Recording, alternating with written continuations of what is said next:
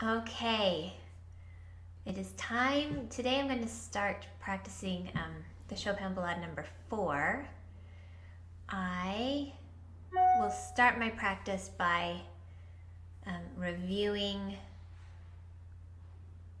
the, the Debussy. So I'll play through that slowly to warm up and then I will play it through maybe at a medium speed and maybe final. I might alternate just to see, depends on how I'm feeling. um,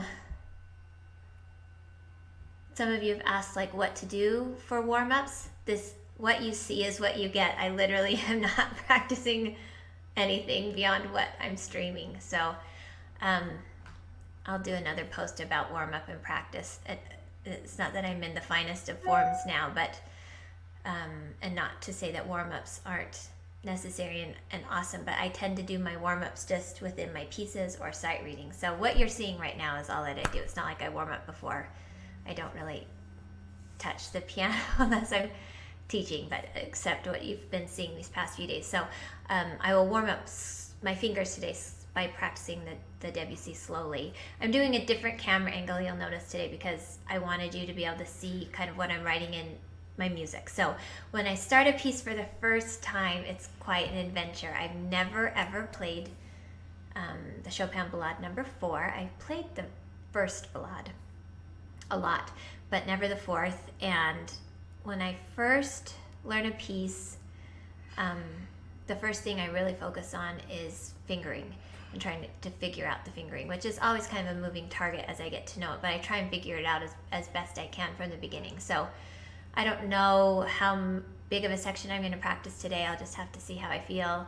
Um, but the process is going to be probably ugly, um, not enjoyable to listen to. But what I hope um, to share is that this process, whether your piece is really, you know, easy or hard, it doesn't matter if it's an easy or hard piece. Um, objectively, it's it's subjective to you. So this piece the the ballade is a, will be hard for me to um, play play well, and I can't sight read it. I can kind of could have kind of sight read the Debussy. That one wasn't hard for me to learn the notes. This is going to be hard for me to learn the notes. So um, you'll relate maybe uh, in your own practicing of anything that's just a little bit above your pay grade of being able to sight read through and play well at the beginning. So this um, will demonstrate that. Um, yeah, so I hope it's enjoyable. Yeah, and I, I changed my camera angle so that you could see kind of what I'm writing in, and I, I'm using a different mic so that you can hear my voice talk, and I'll talk through the process too um, as I go. So first to the Debussy, and I will change my um, my my camera and my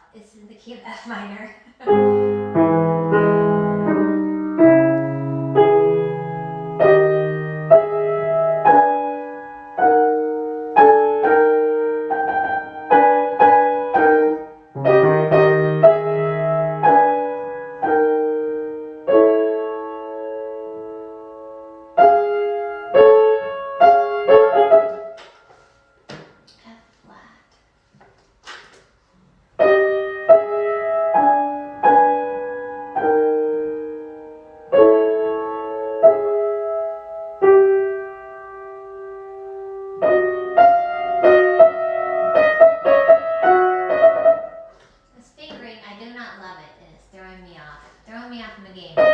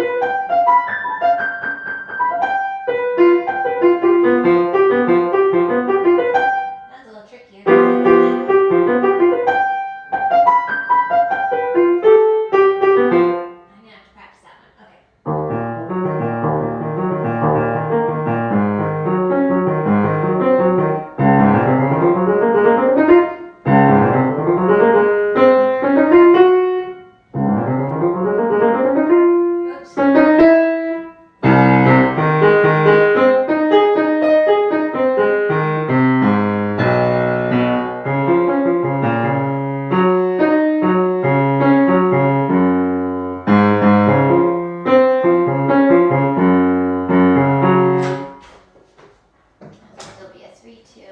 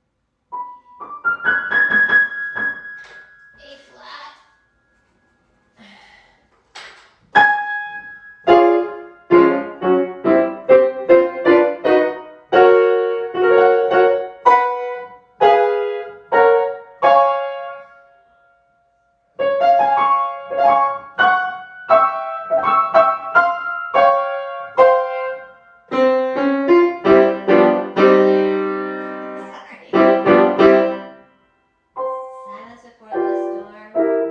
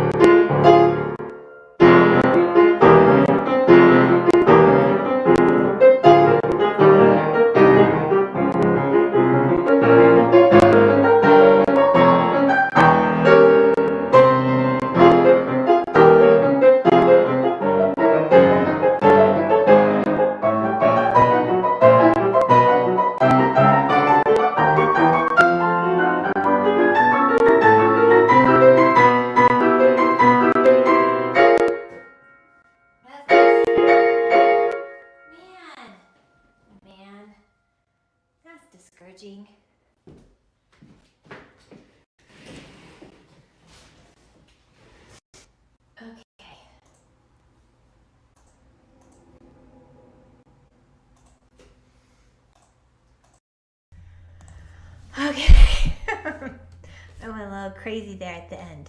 Um, okay, so now I have the section that I want to learn, and I have every part of that section sketched out with a speed that I could do perfectly. That is the most important step. So if that's overwhelming to you, what I just did, the, the trick is that you, you need to take what you can do at this moment in time, right? That's not overwhelming to you, whether that's two measures or one measure or a line or a page. So I did um, six pages today, but I've been doing this my whole life. Okay, so the process is the same, even though I might be doing like harder stuff, right? So I don't know where you are in your journey. I started playing the piano when I was five.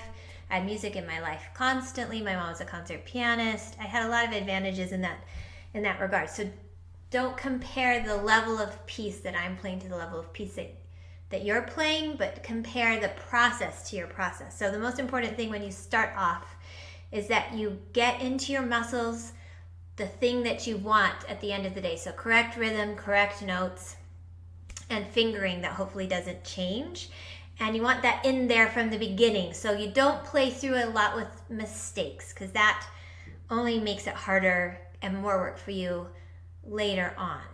So, I was able to do six pages of this piece. You might, like I said, might do four pages of the piece that you're working on, or one page, or one measure, but start off with what's not overwhelming to you. That's the most important thing. And then, um, yeah, then you'll see what I do tomorrow. But that's that's the most tedious part. So I doubt anybody watched this. Because who would want to watch that? But I wanted you to see because a lot of times, um, like I said, I've been playing the piano since I was five. I'm 48 years old. So 43 years I've been doing this. And I've been practicing in my life like an hour to six hours a day I did take off a good 20 years. So let's say I've been playing 23 years. I'm just coming back to it because so, I'm just doing it for fun and to practice, just like we've talked about. Like I just like that process. Guess what? When I started today, I couldn't play that piece at all, not even a snitch, right? And then by the end of an hour and 15 minutes or however long, an hour and 18 minutes, right? Like I can do more than I did an hour ago and then add that on day to day to day and pretty soon you'll see I'm at some point I know if I follow this process I'll be able to play that piece. And then if I play it people will come to me and say, "Oh my gosh, you're so talented," or "Oh my gosh, you're so lucky." like, have you heard me practice? It's not it's just it's not luck or talent. It's just that I sit and do it over and over and over again. Right? Years and years and years, hours and hours and hours. One day at a time, people, one day at a time, and you'll get there, right? So if you like this process, it's enjoyable. It's it's not talent. I mean, I'm lucky that I found something I enjoy. I will say that I'm lucky I found something I enjoy. I'm super lucky about the family I was raised in. So I hope um, yeah, I hope you guys will go practice. If you want to practice on my stream, then email me at practice at peerymusic.com. I think practicing is awesome. It's all that is human, both the pain and the triumph. And um, I see I see some comments. I appreciate that, you guys. Anybody's watching, and know that I really appreciate your practice efforts too. So we're all in this together. I think practicing is the most glorious part of playing classical music. So thanks for sharing it with me. See you later.